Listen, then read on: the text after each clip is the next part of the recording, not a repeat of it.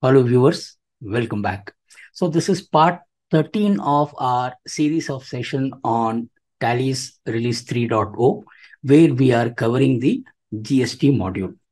In this session, we will understand how we can handle additional charges or, for example, additional charges could be freight charges or packing charges, which should form part of the transaction value. At the same time, GST also allows to reduce the value of discount for calculation of transaction value. So we will see how these things can be handled in Tally and make sure that we are levying tax on the proper transaction value.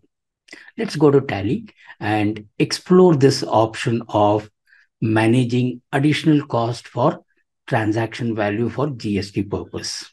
As per GST law, when you are invoicing, if you are levying any additional charges in the invoice, those value should form part of the transaction value or assessable value. The law also provides the facility of deducting any amount of discount you offer on the face of the invoice. So let us see now how we can handle this kind of a situation when you are raising a tax invoice. We will take a use case that in this case, the dealer is levying additional charge on packing charges and is also offering some discount. So in this context, we will see what is the final transaction value on which the GST is going to be levied and we will also see how Tally is managing this use case for you to be compliant with the GST law. I have one item which is laptop and if you see here the rate of GST is 18%. The second item printers again the rate of GST is 18%. So let us see once the dealer is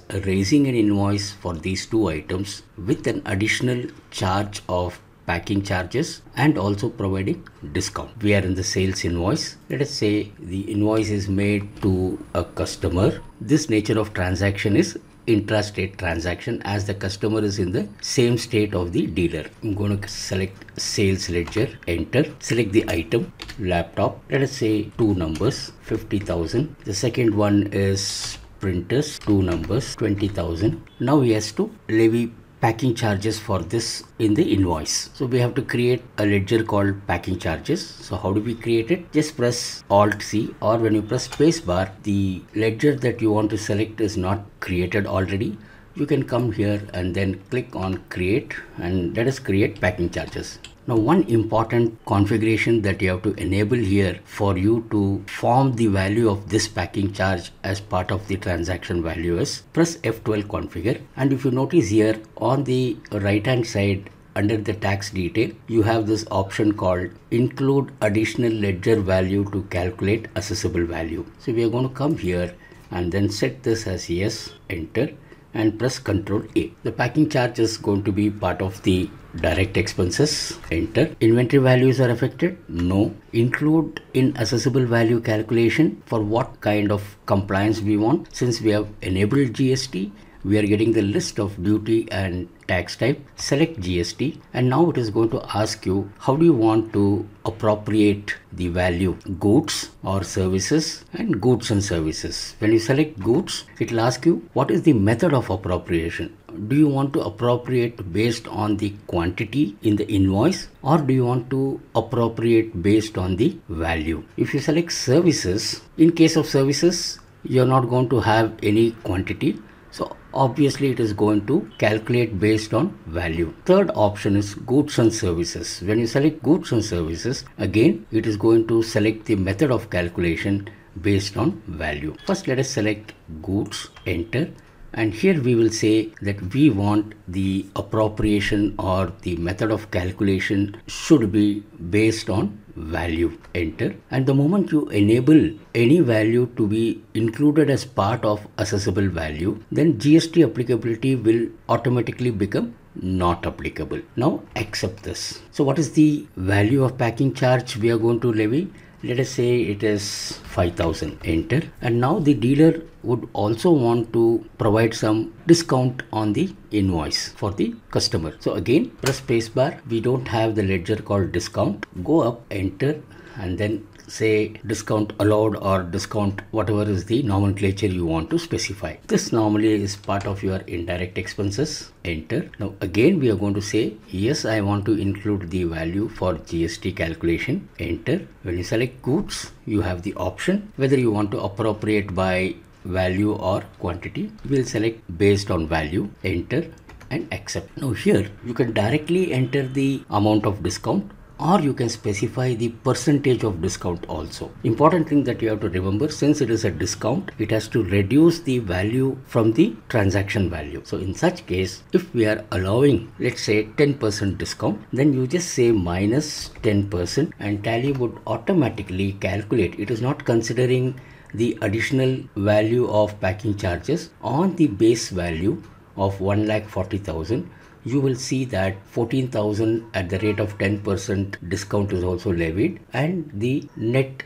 total is 131. On this, we are now going to levy GST. So select CGST, enter and Tally would automatically calculate the tax. If it is not calculating, you know that you have to check the configuration of your master. The other one is SGST. So the amount is calculated. We want to see now how Tally has calculated this amount of 11,790 for each of the taxes. For you to see the calculation, we have this option called related report. Click on related report and we have this option GST tax analysis. If you remember the keyboard shortcut Alt A, you can always press Alt A to view the computation information. So I'm going to select here. Tally is going to give you this tax analysis. When you press Alt F5 detail, you will get the complete detail of the method that Tally is adopted based on your configuration for calculation of packing charges and discount. So let us quickly see one item here. The item laptop, it says source of GST rate detail is come from the company, which we had configured at the company level. And the source of HSN is also come from company. Now what is the item value or the sale value? is 1 lakh rupee. Now packing charges we had charged 5000 rupees for both the item. So it will take 5000 rupees divided by the total amount multiplied by the value of the item that is the laptop which is 1 lakh. So the result is 3571.43 is being appropriated for the item laptop. In the same way the second one if you see here it is again calculated the total value of 5000 divided by 1 lakh 40000 multiplied by the value of the printer which is 1004 28.57. The next one, we had provided a discount of 10% on the total value, which comes to 14,000. On 14,000, again the same calculation is applied. Discount amount is 14,000 divided by total value of the invoice multiplied by the value of the item you get 10000 rupees as discount for laptop similarly the same type of calculation is done for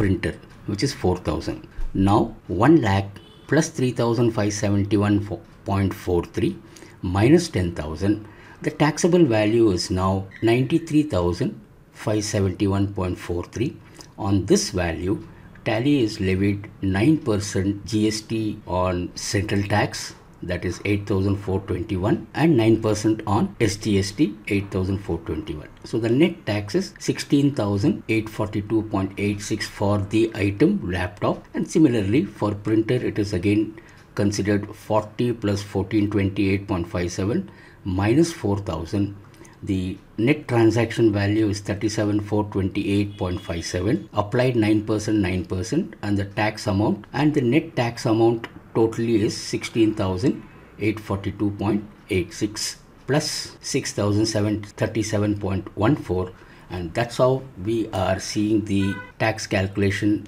on the face of the tax invoice. Just press escape and 1179 1179 enter. And now save this. We have now created a tax invoice with an additional cost and also discount considered for transaction value to compute GST. In this example, we saw that both the item have the same rate of GST, so tally is calculated accordingly. But there might be a doubt in your mind that what if I have two item which has two different GST rate and how tally is going to manage the calculation. So let us quickly pass another transaction to see how tally automatically applies the same principle just now we saw. So let's make another entry to the same customer sales ledger. So you're going to select laptop, say again two numbers, 50,000. The next item say is monitor, which is 28%. So I'm going to select monitor. I've already created the item, enter. I'll go back and for you to see the master configuration, press control enter and you will see here this item is created whereas we have specified for this item that we want to specify the detail here